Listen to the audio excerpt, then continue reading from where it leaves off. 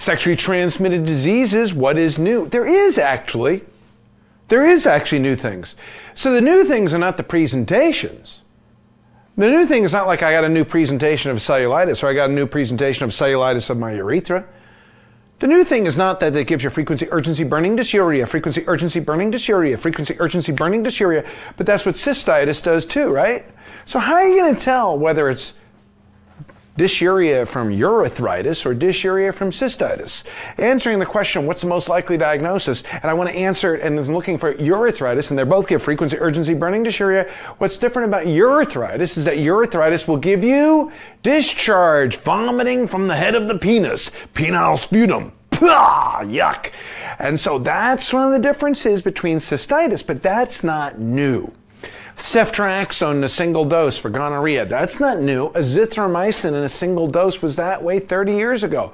That's not new. We knew azithromycin was safe in pregnancy 30 years ago. We knew doxycycline had equal efficacy, but who would want to take doxycycline for a week when you could take one dose of azithromycin? Here's what's new. The best initial test for your urethritis is a voided urine sample most people who are going to get this question are going to say, put a swab in the penis. And if you've ever done this, and you've ever seen the reaction, it sort of looks like this Yo! Don't touch me with that swab! That's what putting the swab in the penis is, because the swab in the penis is like trying to take an eyeball culture from a cyclops. He'll, with conjunctivitis. So here, you just void the urine. No more gram stains. That's going to be taken out of all the bucks because gram stain is complicated, swabbing that thing and wiping it on a slide. First of all, it does not catch chlamydia. Second of all, it doesn't detect a bunch of gonorrhea even when it's there. So a swab with a gram stain showing intracellular diplococci is very specific. But the problem with it is it's technically difficult and too many false negatives. Now, in hepatitis, we called it PCR for DNA for Hep B, PCR for hepatitis C for RNA, same with HIV. Here it's called nucleic acid amplification testing. It's pretty much the same concept as saying a PCR. And also, in some places, you may see the term DNA probe. So whether it's called DNA probe, PCR, nucleic acid amplification, one test and avoided urine, and that's a huge increase, a huge advance. Now, the other causes are mycoplasma genitalium and ureaplasma, but since that mycoplasma and the ureaplasma both get treated with azithromycin and doxycycline, doesn't really matter. So, the, not having to do a swab does matter, also because you have one test that will find both diseases. The treatment is a single dose of ceftriaxone, a single dose of azithromycin, doxycycline is equivalent. And here's the other thing is that uh, gonorrhea used to be able to be treated with cefixime. Cefixime is a oral third generation cephalosporin, but it does not fix him to fix him, doesn't fix him. Ah, I made it funny. Quinolones have too much resistance, so they're not alternatives that are good. And cefixime and quinolones are only if there was some circumstance in which you did not possibly have intramuscular ceftriaxone. Do you mean to say that there's really no really good alternative for intramuscular ceftriaxone? Yeah, I'm saying that. Now, cervicitis. Cervicitis has discharge. Cervicitis can have some cervical motion tenderness. Cervicitis can have some dyspareunia. Cervicitis has discharge. On exam, strawberry cervix, that's not new. So what's new about cervicitis? Very important. We have something really new, it's really big. So let's say that one of these days that we're in a live class, because we do live classes and it's the last day of class and you want your picture with the really important book author, me, and there's no one there to take a picture of us. But you have your cell phone and you want a picture and nobody take a picture. What would they do? What would you do? You would take the cell phone and you would do a selfie, right? Selfie. So cervicitis, what's the diagnostic test? Don't need a speculum. What's the diagnostic test? Don't need a doctor. Don't need a spe speculum. Don't need stirrups. What do you do? A selfie, self-administered swab, and nucleic acid amplification test will find both gonorrhea and chlamydia, and a single dose of ceftriaxone and a single dose of azithromycin. Everything I just said on treatment for urethritis. This is a colossal advance. So if you said to me, Fishy, fishy. Just, I'll tell you what, give me the STD section and just tell me what I'm not going to know. The voided urine for the man for urethritis, the self-administered swab for cervicitis. For pelvic inflammatory disease, exclude pregnancy first. Laparoscopy is the most accurate test, even though you're not going to do it. For primary syphilis, don't desensitize primary syphilis. If you're, if you're penicillin allergic, use doxycycline. That's it. For genital warts, Genital warts, imiquimod is an immunostimulant that also gets rid of basal cell cancer and the pre-squamous cell cancer called actinic keratosis. Wow, a topical immunostimulant that gets rid of skin cancer. Yeah. Wow. And that's basically what's new about the STD section, not much else. So you treat cervicitis and you treat urethritis a single dose. Cefixime is not uh, good enough. Doxycycline is uh, equal in efficacy, but harder to use because you have to use it for a week. Epididymitis, how are you going to tell this apart from testicular torsion? Testicular torsion, orchitis, how are you going to tell apart from testicular torsion? They're both painful testicles. Okay. How are you going to tell them apart? Well, they're both painful testicles, torsion. So one of the things that's uh, different about it is that uh, epididymitis doesn't actually change the position of your testicle. See, when you have torsion, torsion brings the testicle, normally your testicle's horizontal or are they vertical? Are now acting out the testicle. So normally testicles are, are vertical. And what happens when you have torsion, torsion it gets twisted up, it goes twist, twist, twist, twist, and it gets pulled up and horizontal whereas epididymitis doesn't change the location of the testicle. And also, the other thing is point tenderness. Now, uh, torsion is different because it changes how it feels based on whether you lift the testicle or not. Prehn sign, isn't it? Lifting the testicle or not. But here it's just point tenderness, and epididymitis gets treated in younger people like you would urethritis, gonorrhea, and chlamydia. And in older people, it get, and why doxycycline? Because you can't treat with just a single dose can't treat with just a single dose.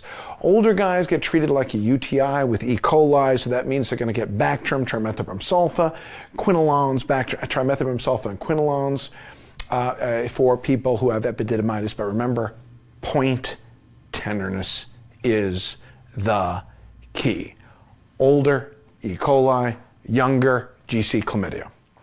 Now, point tenderness is the most characteristic thing, but the elevated testicle in a horizontal approach is torsion. And torsion, which is a surgical emergency, is treated with a change in the surgical realignment. You got to untwist the testicle before it necroses off. Now, the bag of worms feeling on palpation. Worse when standing what's varicose veins of your testicle? Varicose veins of your testicle is a varicocele. Varicose veins, and sometimes, just like va varicose veins in the legs, they need to some surgical management because uh, there's no real management that's medical. Well, uh, keep your uh, stand on your head so you ligate them the same way that you might sclerose them off or strip them or inject something to dry them out and close them off in the legs. Varicocele, just like varicose veins, doesn't really have any long-term consequences. They're just uncomfortable. What about a hydrocele? What's the meaning of a hydrocele? Nothing. Varicocele can be more discomfort. Hydrocele means a big nothing, just a fluid pimple in the testicles. Lower abdominal tenderness and lower abdominal pain lower abdominal tenderness and lower abdominal pain, fever, lower abdominal tenderness and lower abdominal pain, cervical emotional tenderness, you'll never be the same, is PID. You didn't need me for that. That's not anything new. And, you know, in PID, we often have to determine who should be admitted to the hospital. Now, PID is a very localized infection, and you're not going to become septic from it. You're not going to develop uh, hypotension from it. You're not going to develop a metabolic acidosis from this localized infection. And gonorrhea, even when it's disseminated and you have disseminated septic arthritis, is not the kind of dissemination that causes hypotension and sepsis as you would with E. coli or Klebsiella or staph. So then how do you determine severity for PID to know who should be admitted? Well, one, of course, there's administration things like ah, I'm vomiting, I can't use oral medications. Uh, I don't have pills, I'm non compliant. Uh, there's other things where you just want more control, like pregnancy. But in determining severity, how do you determine severity of an infectious disease that doesn't cause sepsis? And for PID, it is fever and white count. If the fever is high and the white count is really high, fever and a white count. Fever and a white count tell severity, and that's how you know who needs to be admitted. And that, my friends, is the crux of step two for us. Step one, USMLE has a higher knowledge base, greater knowledge base you have to not only know that you're giving cefoxitin and doxycycline, cefotetan and doxycycline, but step one says, ooh, doxycyclines, macrolides, I know that they have to, they work at the ribosome. I have to remember what a 30 and a 50S ribosome is. I have to remember what mRNA does. Oh, it builds amino acids into proteins. I have to know that ceftriaxone ha has binding proteins in the cell wall. There's a much greater knowledge base in step one. The hard part about step two is not that it's a larger knowledge base. The hard about, part about step two is the order in which to do things.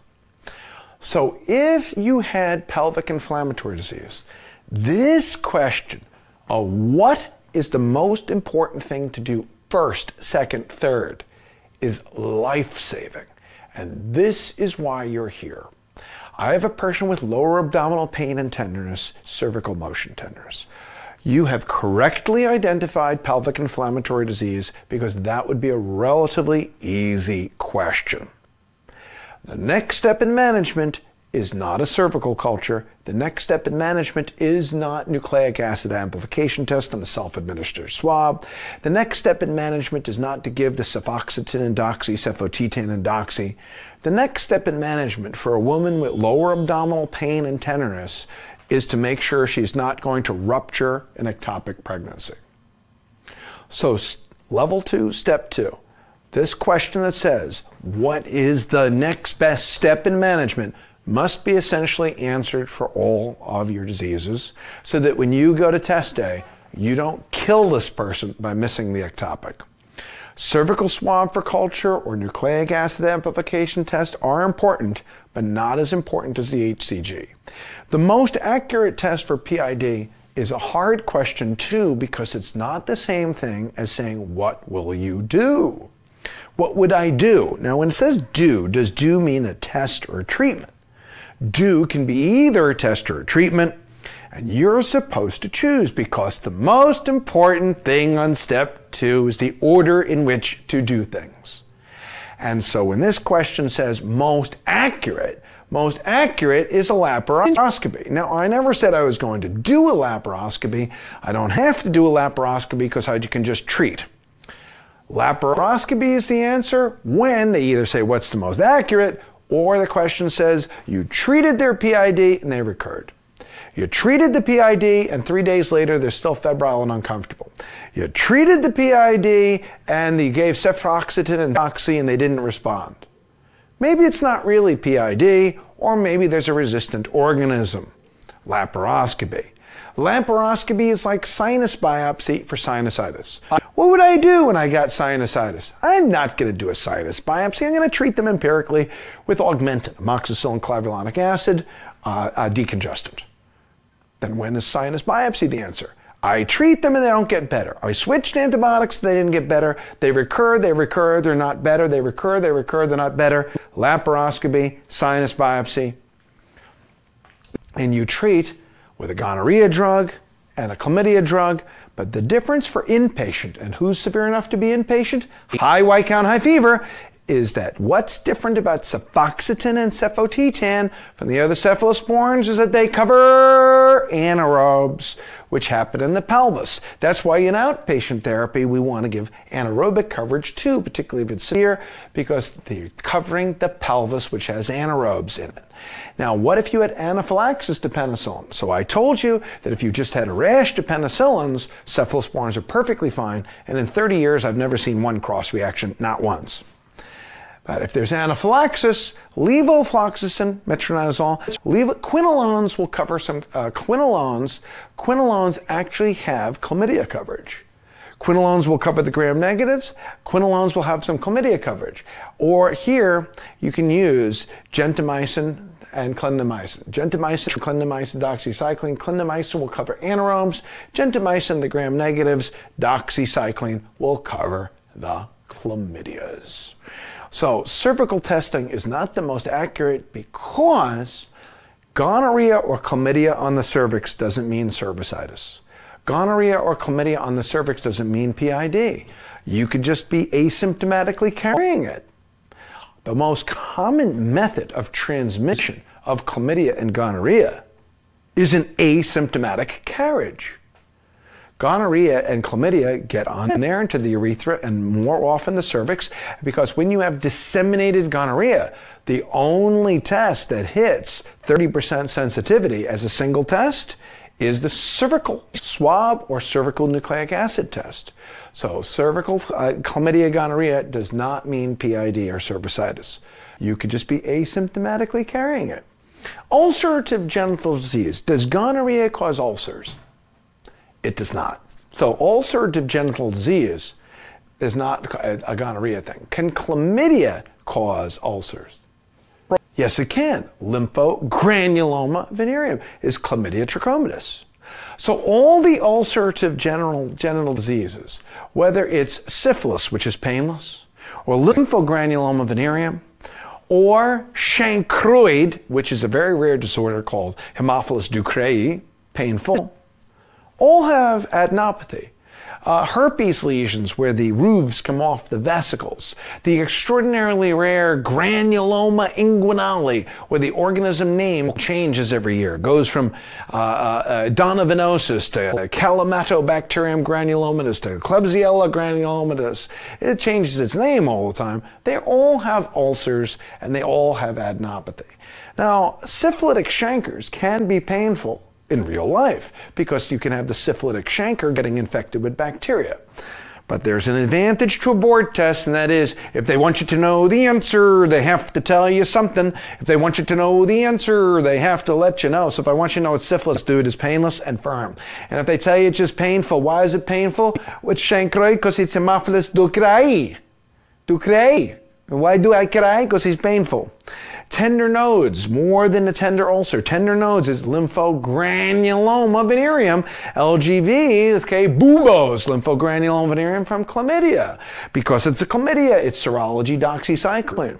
All right, the diagnostic test for a primary syphilitic lesion, for primary syphilitic chancre, whether it's on the penis or the vulva, the best initial, most accurate test, the most accurate test for syphilitic chancre is the dark field.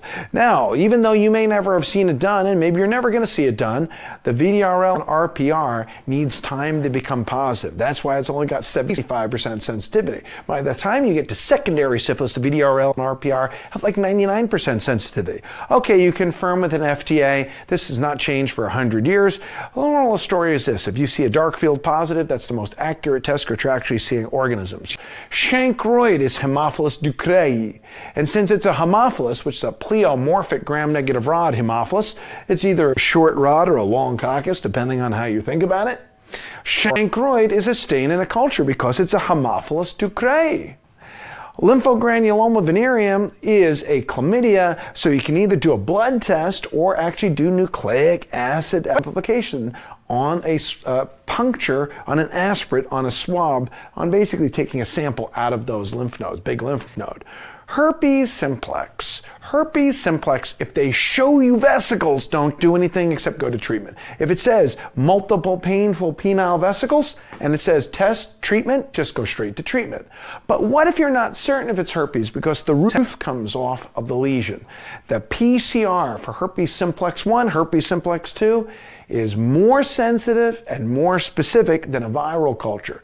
Tzanck prep is 50 or 60% sensitive. Tzanck prep is multinucleated giant cells. Tzanck prep is like the, um, the India ink for Cryptococcus. If it's positive, it's good. If it's negative, it means nothing. Viral culture is not as sensitive at PCR. So if the dark field is positive, you don't have to do anything else because there's nothing else but syphilis that makes the dark field that's positive. The treatment for primary syphilis okay, is one single dose of intramuscular penicillin. Now, if you're penicillin allergic and you have a syphilitic chancre, if you're penicillin allergic, the next best step for syphilitic chancre, primary syphilis, is not desensitize. Do not desensitize. Raise your hand, repeat after me. Don't desensitize a chancre and a penis. I promise. I promise. I never. I promise never. To desensitize. I promise never to desensitize a penis. That's right. Do not desensitize a penis or a vulva. When do you desensitize for syphilis? Tertiary syphilis pregnant ladies and neurosyphilis. Pregnant neurosyphilis, desensitize those pregnant ladies. It's hard to be pregnant. They're too sensitive anyway.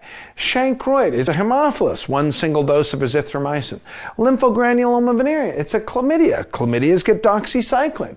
Why not azithromycin? Because it's too deep an infection to treat with one single dose of azithromycin. Which has greater efficacy? Too easy in a question acyclovir, famciclovir, valacyclovir, acyclovir, famciclovir, valacyclovir, all equal. Now, if you're acyclovir resistant, the treatment for herpes is foscarnet, because foscarnet does not need activation with thymidine kinase. So foscarnet can act directly, uh, intravenously, no oral version of foscarnet. By the way, if you're acyclovir resistant, Will ganciclovir help? No. If you're acyclovir resistant, ganciclovir won't help because ganciclovir needs activation with thymidine kinase as well.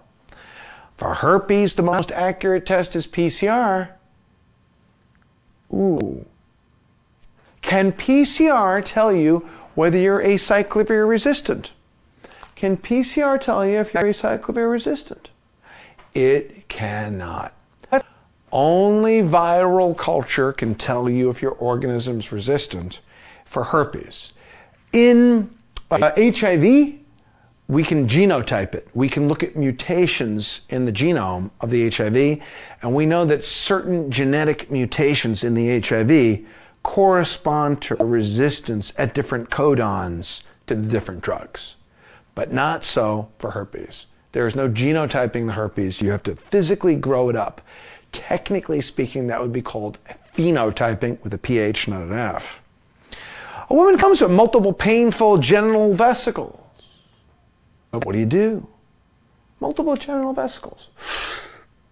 What else causes multiple genital vesicles besides herpes? Let's see. Da, da, da, da. Nothing. By the way, what's the difference between a vesicle and a bulla? Size.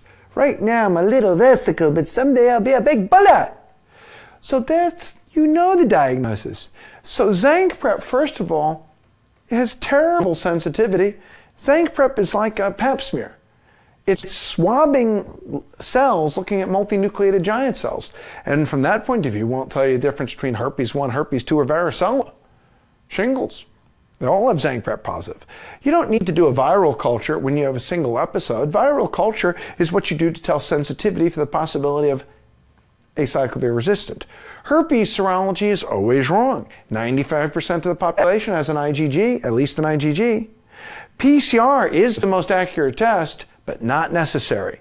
Now, acyclovir orally, because topical acyclovir is placebo.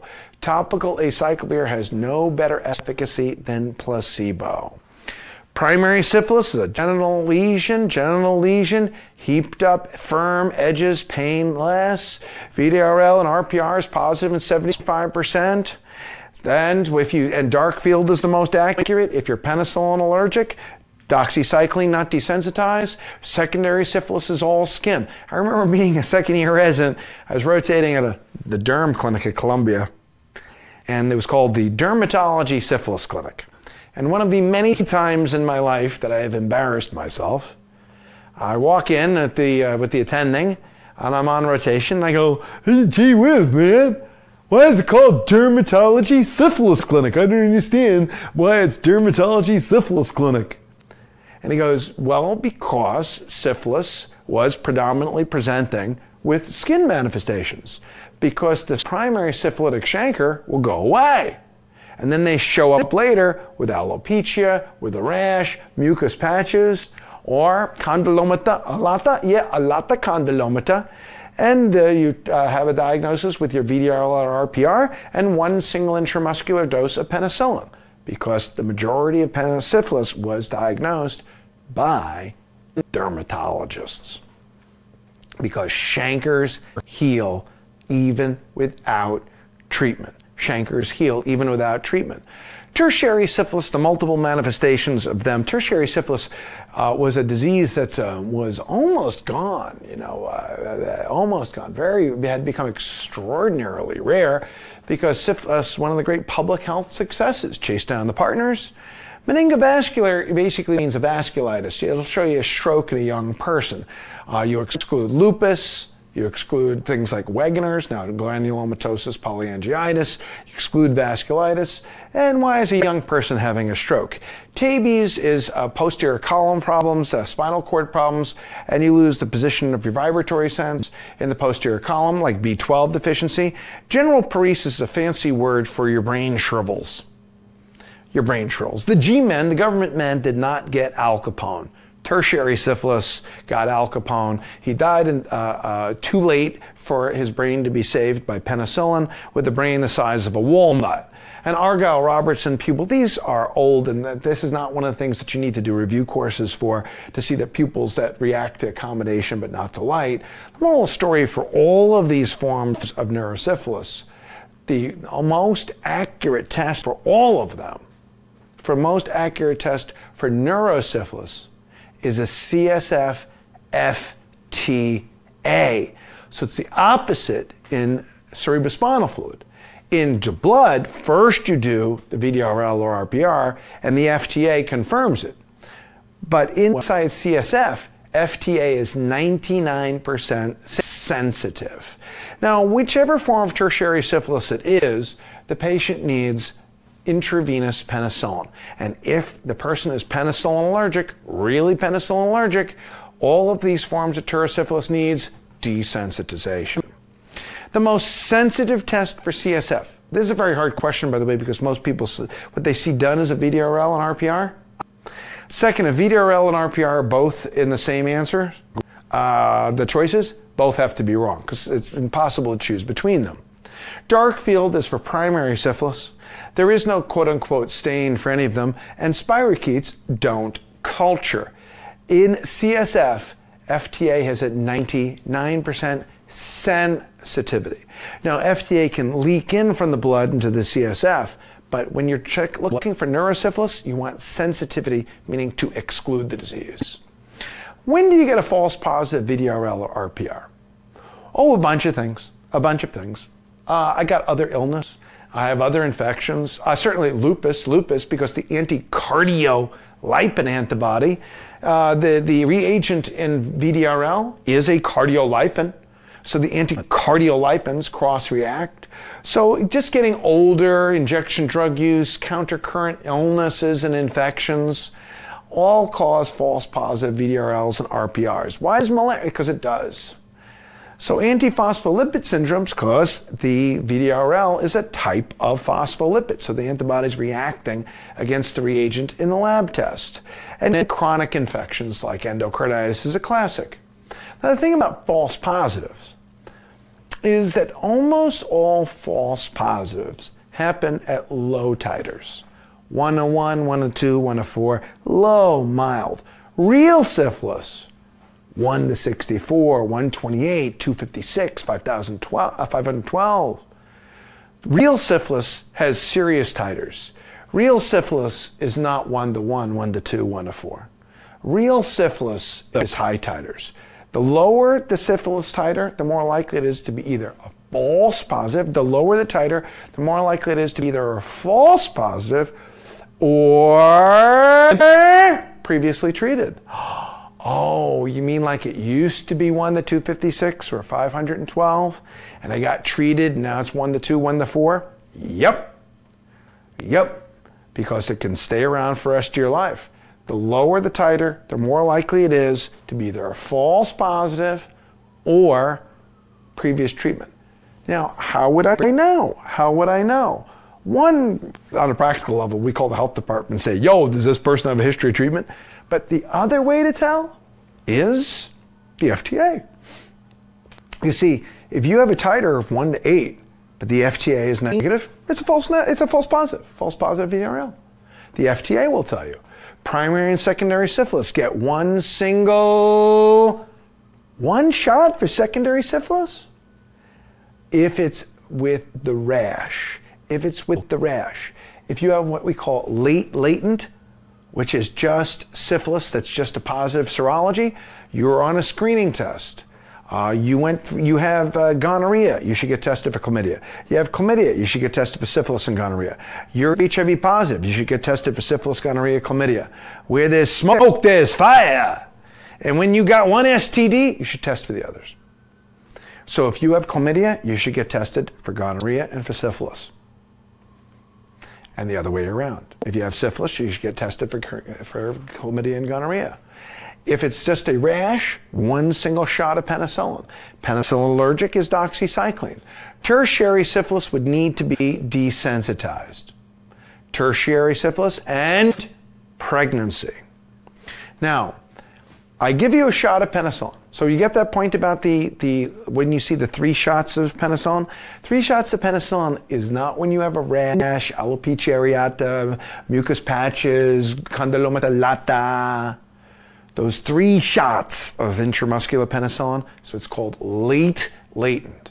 You have no symptoms, but you've got positive serology at a high titer.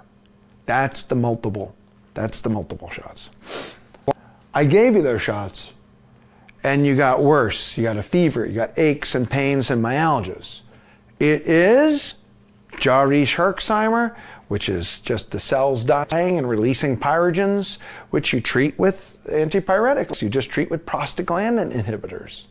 Jarisch Herxheimer. Most of you are not going to see it. Now, genital warts. These are a few of my favorite things, the gift that keeps on giving.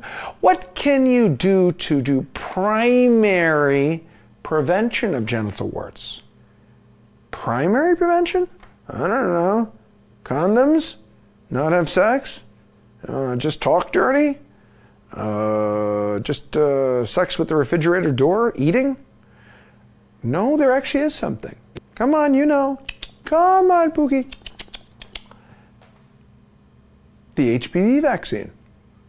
The HPV vaccine has an official indication not just to prevent um, cervical cancer, it has an indication to prevent genital warts. As a matter of fact, the HPV vaccine is easier to approve based on this because it's easier to demonstrate that it prevents genital warts.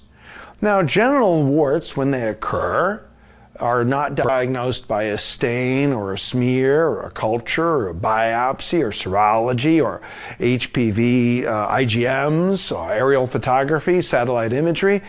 Genital warts are, I see a wart, like any wart, like molluscum contagiosum. I see a wart. And then, just like any kind of wart or molluscum contagiosum, you treat by removing. Oh, your fingernails are long. Let's get a manicure pedicure and let's cut them off, uh, uh, file them off, liquid nitrogen off them and freeze them. Surgery for really big ones, because sometimes they're really like big cauliflower.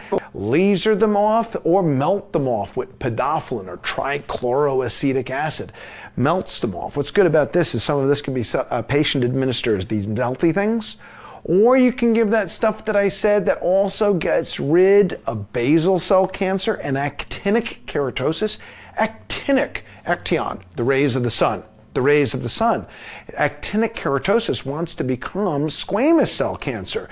Imiquimod uh, stimulates your immune system to slough off bad cells. Condylomata acuminata, molluscum contagiosum, actinic keratosis before they go on and become squamous cell carcinoma, and some basal cell cancers. Sloughs it off. Imiquimod. I love that drug. 35, 30 years it's out. Go learn it. Pediculosis and scabies. Pediculosis and scabies. Which are bigger? Scabies are small like a baby. A scaby baby. A scaby baby dig and poops. Digs. Crabs are on the surface. like at the beach. They're on the surface. They're found in big hair bearing areas. They're in your axilla. They're in your groin. They cause itching. You can just see them. You don't have to scrape them out. Crabs, also known as pediculosis, are uh, diagnosed by actually looking into hair bearing areas and permethrin. Now, you can use lindane, and you can use lindane for crabs, and you can use lindane for scabies. The problem with uh, lindane is it has more toxicity. Because you know what happens when people find out that they got crabs and scabies? They pour on the antidote. And it can get absorbed through the skin, particularly in children, cause lindane can cause lindane seizures. Scabies, baby, scrape it. Crabs, two millimeters. Scabies, half a millimeter. They dig and they burrow and they dig and they burrow and you scrape and you magnify them. That's why they're itchy, because what you're having is a kind of a contact dermatitis to scaby poop dug under your skin. Same answer, permethrin or lindane. Now, sometimes we have what's called crusted scabies.